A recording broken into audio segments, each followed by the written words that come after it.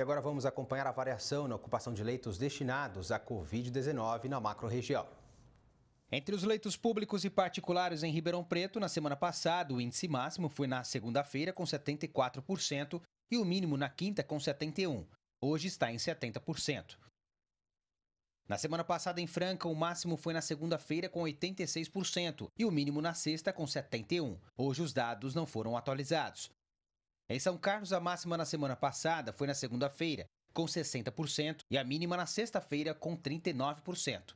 Hoje os dados não foram divulgados. Em Araraquara, na semana passada, o índice máximo foi na segunda-feira, com 45%. O mínimo sexta, com 41%. Hoje os dados não foram divulgados. Em Sertãozinho, na semana passada, o mínimo foi na segunda-feira com 51% e o máximo na quinta, com 79%. Hoje os dados também não foram atualizados.